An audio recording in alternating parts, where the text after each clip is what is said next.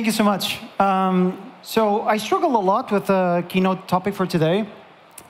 Essentially, I wanted to write something that I'm not sure I'm supposed to write, some like get shit done or how to deal with shit of building a company. It always will end up with like a crazy, weird word. So just went with a safe option like focus. Nice. The clicky thing works. My name is Marcelo. I'm CEO and co-founder of Remote. And you know, the only reason I'm in, sort of entitled to be here uh, is to talk, talk to you about my experience as a founder, someone building stuff, um, in you know, what I've done as well. Remote is a company of a thousand people. We're all across the world, um, all distributed. We don't have an office. We started in 2019, and we built, you know, very big, large organization. And you know, I've not my first time being a, a, a co-founder uh, let alone you know, a leader in a company. So today my talk is going to be you know, not to tell you exactly what to do, but what should you should avoid. Because you know, advice goes is very free, um, but it doesn't mean it's good. So I'm going to talk to you about two phases, two things that usually go when you're building out a product or building out a company. For one, um, let's talk through how you build a company and then we'll talk a bit about how to build a business and, that why, and why that is somewhat different. As far as building your company goes, there are three important things. Ego, mutation, and outcomes. One of the things that I learned at my own expense is that throughout the years, the one thing that is not needed while you're building a business or a company is your ego. It adds nothing to the table if anything, it actually detracts. You're leading a lot of people. It's a bunch of people, um, either small when you're very small, very young, uh, young as a company, or quite big. So if everyone be, brings their ego to the table, you're probably going to double the amount of people in that room as well. So ego is often confused as being proud, being happy, being deliberate, or even pushy. It has nothing to do with being successful at all. Ego is typically a manifestation of you know, our own intrinsic instinct to win above everything. It's like almost like a survival mode. But it most often detracts from the, the, the end game. So I've never seen a case where the ego actually add anything to the discussion, to the success, or the role of the, the company. Then it goes through mutation. You know, as people, um, we're not yet robots yet, a big emphasis on that. We change quite a lot. We learn, we grow, companies go through the same process. And what we know from building a company is that companies, as, a call, as far as culture goes, they change drastically every 12 to 18 months. I mean, if you're in a company building a product, you understand, if you look back, where you were 12 to 18 months ago, it's probably a completely different place too, right? So when setting out to build you know, a team, hiring, growing, this is something that has to be very well defined, even with the expectation of your own employees, your colleagues. Because that means that either the company is going to outgrow a lot of the people, but also that the people will outgrow the company. And the odds are it will happen quite a lot. And so if the uh, rules of the game are quite explicit, you avoid situations like, you know, someone trying to get onto a job that they are not no longer fit for, or they actually are fit for something bigger, more impactful. And that if the company is aware of this, it is fundamentally true that your chances for success together are a lot better. But at the same pace, if none of the parties realizes this. Then you get to a point where you're in a company for three, four years, and maybe you feel that your career stalled. Or maybe the company feels that you're no longer suited to do the job that you're doing.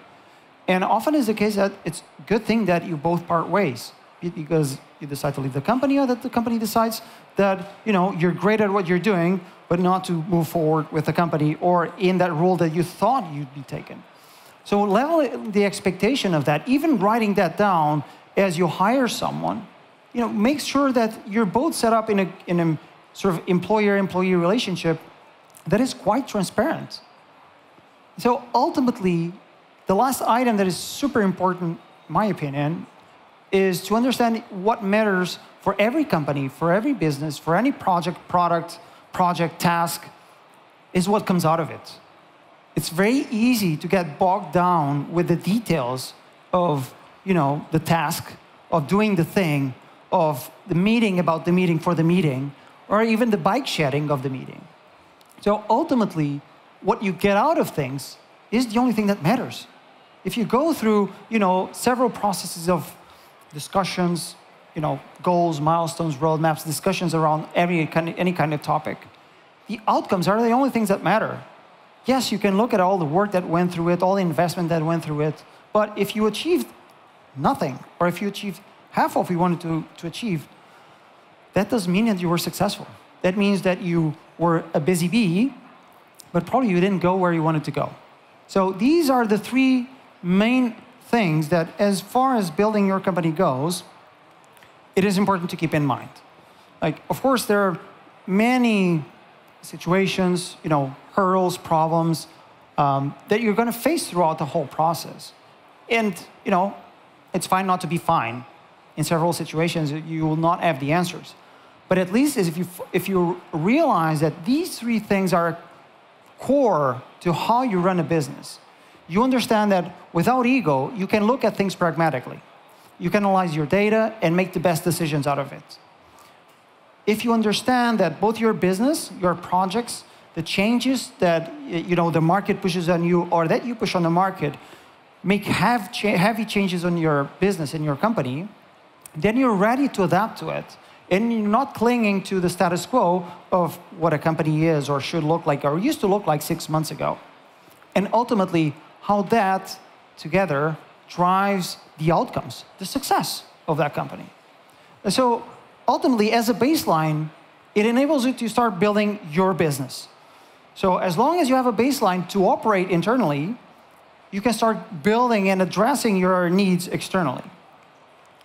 One of the things that I've learned, you know, uh, as building a business as big as remote and as, as challenging, com complex as remote, is that it's super easy to, you know, follow the rabbit, right? Go down the rabbit hole.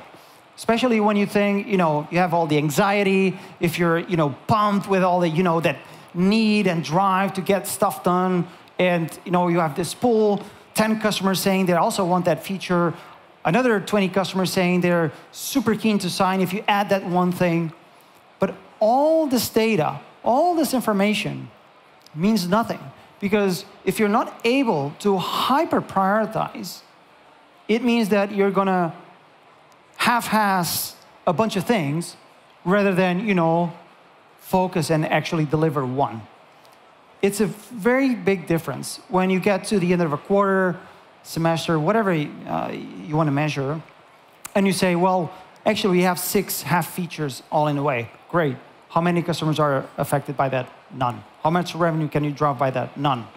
So hyper prioritization comes when it's painful to go through the motions of every day and, and say, yes, I will not do that extra thing that I think it's important.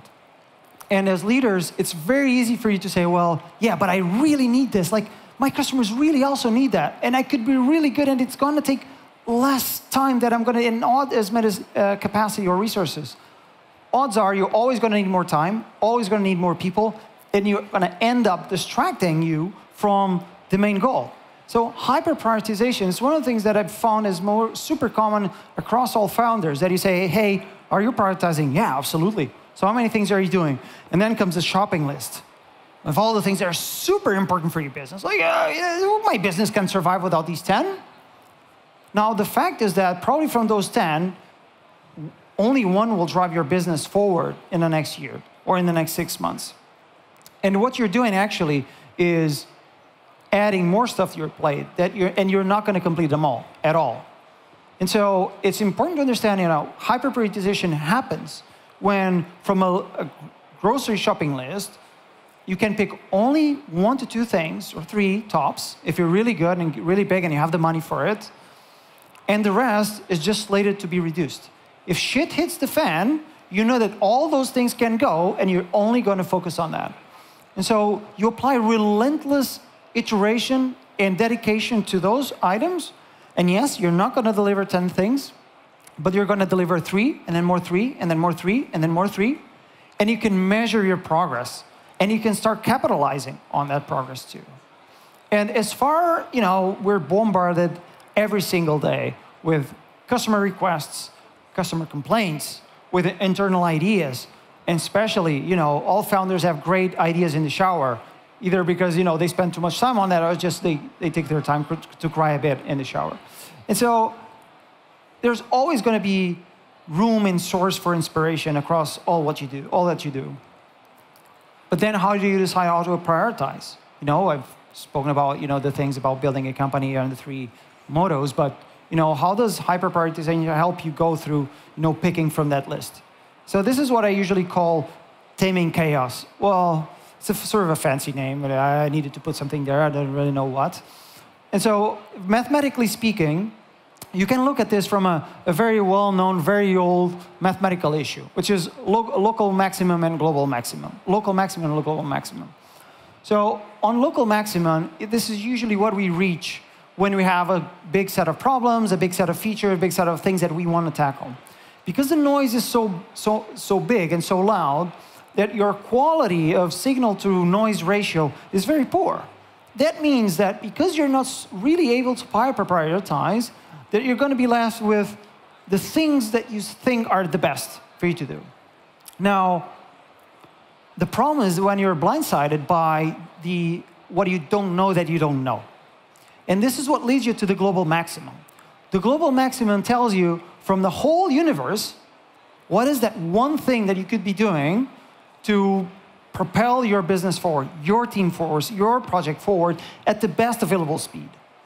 So this is typically done when you're able to read the whole universe in a way, section how you read it, and also understand it, and hyper prioritize helps you do that and also is fueled by that process. And there are many ways and many you know, frameworks that you can read about it. Through experience, I managed to you know, get through something very basic. You'll probably not read about this anywhere. I made it up. It works for me. If it doesn't work for you, well, tough to be you. But to be honest, it does work very well in a matter of simplicity.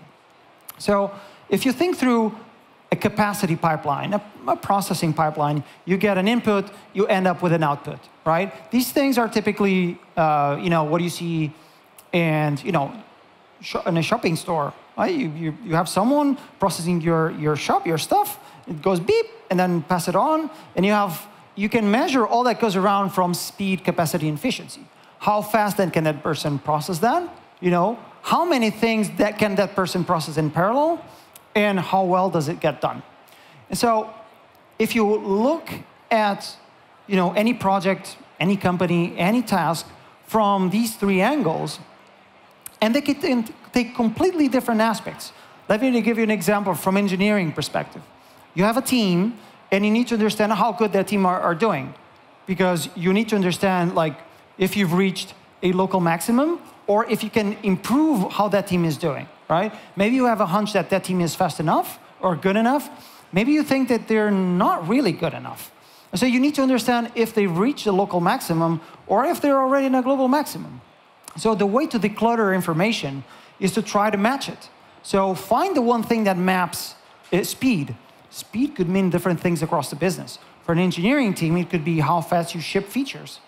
How fast do you fix a bug? Or how, fa how fast you, you attend or, or reply to the first ticket. Capacity is essentially how many things can you process at the same time? How many features does this team ship uh, in a given cycle? How many things get tackled in a different uh, same cycle? And efficiency, how many bugs are created? How many you know, escalations, technical escalations do you have? Or even downtime do you have? And so ultimately, you can spin this around for different aspects in different you know, timelines but ideally, you're going to single out the three more important things per stage of your company, be it revenue, be it customer success, or wherever they are, and you balance them across the three edges. And so by doing that, it paints a very good picture of overall how your business is doing. And so doing this, you know, you can get whatever data you want, but it forces you to hyper prioritize on these three parameters. And you can absolutely be certain that if you look into the three, you know, top things that you could be doing at a certain point in time, you're going to focus only on that. And you know, by the theory of optimization, if you focus on the three biggest problems and you eliminate them, your system by default is optimized. So applying a very short, you know, efficiency model like this enables you to propel quite forward in completely hyper-optimized way. Now, of course, this matters nothing if you keep doing apply, try to apply that to 10 different things. And that's why hyper-prioritization is super important. So ultimately, at the end of you know a quarter, it's fine to look at this and say, okay, now I've eliminated you know my biggest problem with speed. I'm actually going to change this into something else. You'd be amazed at how fast you know this can propel both your team or your projects because of how much focus can drive a business and how much efficiency it can bring onto what you're doing on a day-to-day -day basis. It, you know, I can't promise you that this will work 100% in all the cases that you have, but I can promise you that it's going to be do, it's going to be help you do better than not knowing. Because when you don't know what you don't know, then you're going to be completely focused on a local maximum, much rather than a global maximum. So, on a last topic, you know, how do you know if hyperprioritization and taming the amount of chaos that you have is working? Well, it's quite simple. Now, for one, you keep the main thing the main thing. If you ask anyone around your team, your business, they should all say the same things. If you have three priorities, if you have one priority, if you ask anyone in the business, and you can do this today, maybe you think, well, my company is pretty much uh, hyper prioritized. We all very fo much focused on delivering what we need to deliver. Easy, do that exercise walk around. There's a very old way of doing business, which is walking the floor. You talk to all your employees, ask them the same things. What is the main thing for you? And if you see the disparity in the re responses, that means that you're super far away from what you think you are. And I can bet that, you know, all of you that think, well, but we're super hyper prioritized, 99% uh, you would not be hyper prioritized. Even, you know, we try to apply this as much as humanly possible and to a point that is painfully simple. And by painfully simple, I mean if you're a leader, you're always thinking about new things, that extra thing, that thing that you also want to nail, that new goal, that new business line. It's going to hurt when you wake up and then you think, well, I'm doing these things, but I should also be doing that and also add that. So at the end of the day, it's going to be painful for you because you'll, you have to remind yourself that you cannot expand upon that, that you're going to get stuck. Um, but when you see the results of your discipline, then you understand how success looks like. So these have been the things that I've been following the, next, the last few years. You know, it's a very simple approach. Um, there's no magic to it. There's no secret sauce. There's no rocket science behind it. Um, this is not behind any, you know, 300-page book. But this is something that I've, we've put together across a lot of different iterations, different models, growing many different teams, and learnings that resonate across you know, an entire organization that spans across the world. It is about keeping things simple. It is about hyper-focus and reducing chaos to its minimum form. And only that, you have a glimpse of you know, what focus means to your business. And that's it. Thank you so much. Lovely to be here.